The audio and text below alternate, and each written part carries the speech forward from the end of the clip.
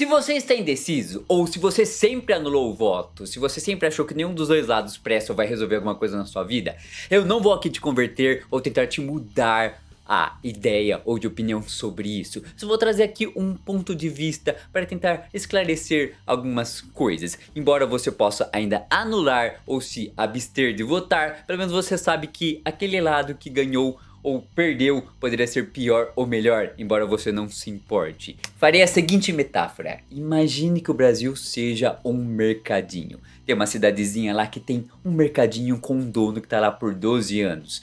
E está muito ruim, a situação está muito feia. Então você quer mudar o dono do mercadinho para ver se melhora. E você consegue! Você coloca um novo dono lá.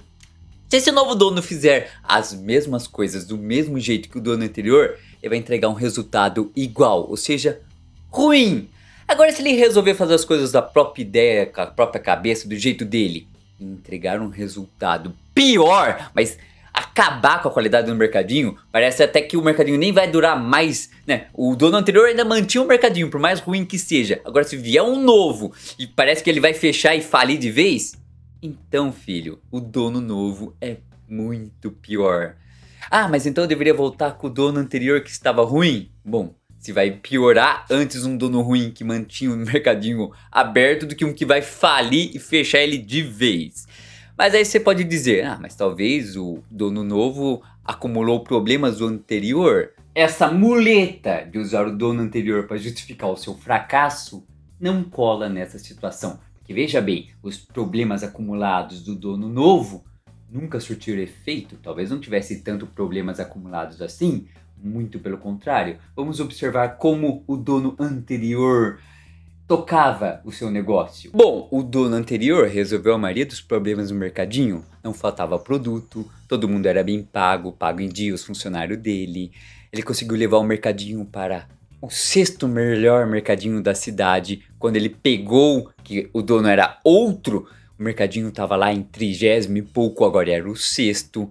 Então, talvez o dono anterior, por mais que você achasse que a situação não era tão boa, estava fazendo pelo menos a sua obrigação, o mínimo. Agora o dono novo está praticamente quase falindo o mercadinho. E se bobear, ele ainda vai tirar os produtos básicos de necessidade que todo mundo precisa para colocar só arma. Você pode alegar, ah, mas o dono novo não tem culpa, ele era bem intencionado. Ora, o inferno é cheio de boas intenções.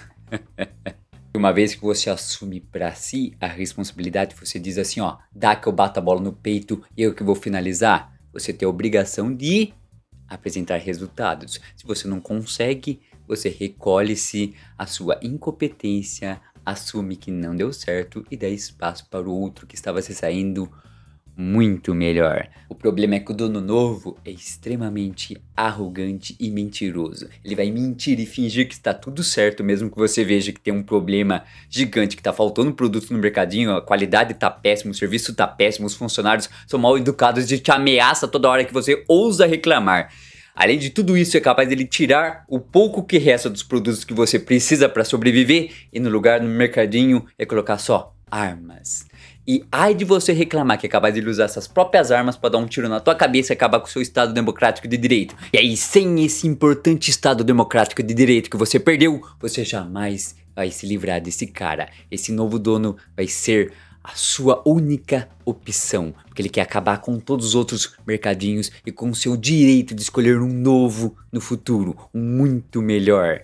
Ou seja, se você tem como opção colocar o anterior, que pelo menos vai te dar o direito de afastá-lo se não der certo, ou que vai te dar a opção de escolher um muito melhor, acho bom que você entenda este lado, este porém, este ponto de vista. Eu sou professor de arte cartunista Raposa, um renomado ninguém. Eu espero que você consiga ter entendido essa metáfora com o Brasil e que você talvez não mude de ideia, talvez você anule ou não vá votar, mas pelo menos você está consciente dos dois lados e do risco que está correndo.